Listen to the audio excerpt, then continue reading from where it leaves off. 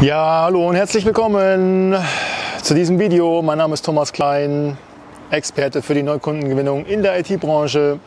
Und heute geht es mal um das Thema Keeper versus Non-Keeper Kundentypen bzw. Menschentypen. Und gleich mal vorweg zu Beginn, um das Ganze auf den Punkt, bang, auf den Punkt den Nagel auf den Kopf zu treffen, eine Analogie zum äh, privaten Beziehungsleben. Und zwar Menschentyp Keeper. Menschentyp, Menschentyp Keeper ist zum Beispiel jemand, der eine Frau oder Mann sucht, um äh, eine Beziehung fürs Leben ja, ähm, sich aufzubauen, letztendlich ähm, den Partner fürs Leben zu suchen. Das ist diese typische in das Extremst, in das, in das Extrem Keeper. Ja? Und Non-Keeper wäre sozusagen derjenige, der in die Disse geht, in die Disco und dann letztendlich ja, nach drei Stunden ein bisschen hin und her ähm, nicht mal mehr bis zum Frühstück bleibt. Ne? Das wäre das andere Extrem im Bereich Non-Keeper. Und das Gleiche haben wir letztendlich auch vom Menschentypen, auch Kunden sind auch nur Menschen, haben wir auch bei den Kunden. Ja? Und ähm, dort würde ich dir halt immer empfehlen, das ist also sozusagen meine Empfehlung, immer zu versuchen, das ist das auch, was ich für meine Kunden wiederum tue, in der Lead-Gen, ja, in der Demand-Generierung, ähm, Kunden sofort zu qualifizieren oder sagen wir mal potenzielle Neukunden, hm, dass du möglichst die Keeper-Kunden sozusagen da deine meiste Energie drauf verschwendest, äh, nicht verschwendest, anwendest. Ja, freudsche Versprecher, ja, ähm, Non-Keeper-Kunden ähm, sozusagen, ähm, das ist so wie, wie Strohfeuer. Ja? Und hier mal einfach ein Beispiel aus der Praxis. Vor einigen Wochen hatte ich mit äh, einem Unternehmen gesprochen mit 1,8 Milliarden global um, globalen Umsatz jährlich, ja, so 1,8 bis 2 Milliarden, also ein Milliardenunternehmen. Ja, also schon ein sehr hoch gehobener Mittelstand kann man so sagen, bauen Getriebe, aber auch Energiesparte haben sie, wo sie Gas verkaufen und alles Mögliche. Mir geht es also sehr gut, haben sehr, sehr hohe Marge und die hatten eine Ausschreibung, an der wollte ich mich zuerst partizipieren, weil es Interesse, weil es sozusagen in meiner Kernkompetenz liegt, ähm, für LinkedIn-Kampagnen. Ja, also sozusagen, wir haben Agenturen, Dienstleister gesucht, der ihnen LinkedIn-Kampagnen, Neukundengewinnung über LinkedIn. Ja bezahlte Werbeanzeigen etc. Und es liegt durchaus in meiner Kernkompetenz beziehungsweise in der Kernkompetenz meiner Agentur. Und äh, da habe ich mich da ein bisschen näher erkundigt. Und was sie eigentlich wollten, war, wir haben eine Agentur gesucht, die ihnen das ganze Konzept, die ganze Strategie aufstellen, dann intern das innerhalb von drei Monaten aufsetzen bei denen, dort ein Team hochziehen, die dann so weit fit machen, dass sie es selber weitermachen können, dann nach drei Monaten wieder raus. Das heißt schon allein die ganze Vorbereitung äh, auf diesen ganzen Pitch, um den Pitch überhaupt zu gewinnen, hätte ungefähr wahrscheinlich sechs, acht Wochen oder irgendwie sowas gedauert. Ja. Und äh, um dann letztendlich für drei Monate einen Kunden zu haben und mit dem, was weiß ich, keine Ahnung, 80.000 Euro Umsatz zu machen, einmalig und dann nie wieder, ja, am besten. Und das ist halt so dieses typische Non-Keeper ähm, Kundentyp, Menschentyp, den willst du nicht haben. Ja, also ich habe da auch nicht teilgenommen und gar nichts. Ja, interessiert keine Sau. Ja, so einen Auftrag.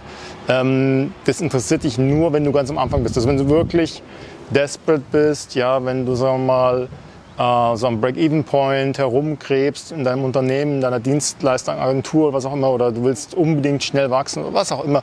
Aber grundsätzlich lohnt sich sowas nicht. Das heißt, was wir wollen, ist, was ich auch für meine Kunden mache, wenn ich berate, auch operativ tätig bin in der Lead-Generierung, äh, Neukundenanbahnung, dann äh, vorqualifiziere ich das sozusagen schon für meine Kunden. So setze ich das so auf, dass diese Non-Keeper sozusagen ähm, Interessenten oder oder Opportunities schon gar nicht eigentlich durchkommen. Ja? Das heißt, ähm, wir wollen möglichst eine lebenslange Zusammenarbeit. Ja, warum, nicht, warum auch nicht? Das gibt es nach wie vor und, ähm, und das ist halt das, wo du sagst, okay, dort stecke ich halt ganz am Anfang entsprechend rein und dann ist es meistens auch noch so, dass wenn man zusammenarbeitet, noch die ersten Monate, manchmal sogar bis das erste Jahr, eigentlich so ist, dass man sich noch sozusagen zusammenwächst, ja?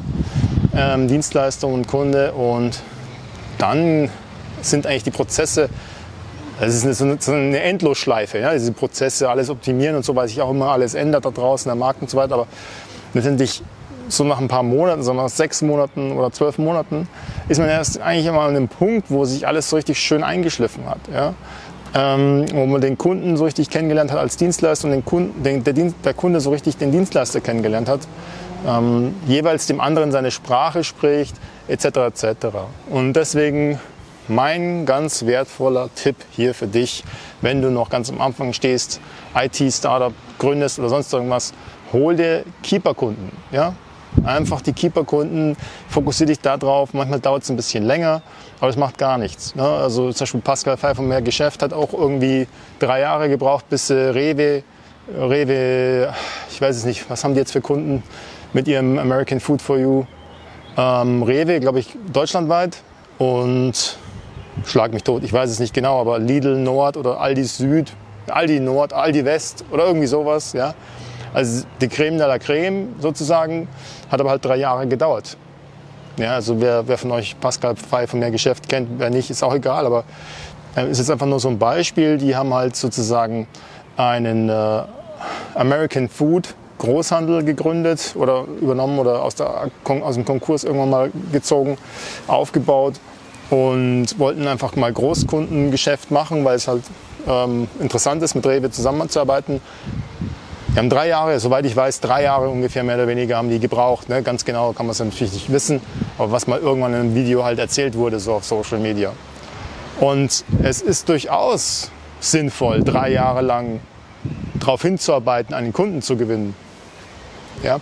Und deswegen auch nochmal mein Tipp an alle, die sozusagen auch gerade ähm, daran interessiert sind, äh, sich einen neuen Dienstleister auszusuchen, der ihnen bei der, äh, bei der Kundengewinnung hilft oder unterstützt und so weiter. Seht ab von diesem ganzen kurzfristigen Zeugs. Ja, also das ist, das bringt auf Dauer alles nichts. Wenn ihr sagt, okay, wir suchen uns jetzt irgendwie einen Dienstleister, eine Agentur oder irgendwas und wir wollen da eben mal so drei Monate oder mal zwei Monate oder irgendwie sowas. Ja, welche seriöse, wirklich gute, seriöse, ja, welche, welche, welche wirklich seriöse und richtig gute und ähm, langjährig ähm, profilierte Agentur oder Dienstleister da draußen lässt sich denn auf ein, auf, auf ein Drei-Monats-Projekt ein, wo sie von vornherein schon weiß, hier werden wir nur Know-how-Transfer Transfer machen dort irgendwas aufbauen und dann, müssen, dann ziehen wir uns wieder raus. Ähm, das ist letztendlich Worst-Case-Szenario und ähm, wenn du da jemanden findest, der das macht, dann sind es meistens nicht die Guten. Ja. Also von nichts kommt nichts und das ist mein Tipp an dich. Ja, ich hoffe, es konnte dir irgendwie weiterhelfen und äh, Orientierungen bieten und wenn du dann noch mehr brauchst, gib dem Video einen Daumen hoch in die Richtung oder gib mir einen Kommentar beziehungsweise schau mal bei meiner Akademie vorbei. Ähm, und äh, oder machen Strategie-Session, wenn du wirklich Bock hast, mal zu beschnuppern, ob wir zusammenpassen. Ähm, ich habe nur drei, vier Slots aktuell frei pro Woche, sowas, aber schauen wir mal und dann äh, sehen wir uns auf der anderen Seite eventuell. Wenn nicht, dann wünsche ich dir weiterhin viel Erfolg in deinem IT-Business und happy hunting. Bis dann, dein Thomas Klein. Ciao, ciao.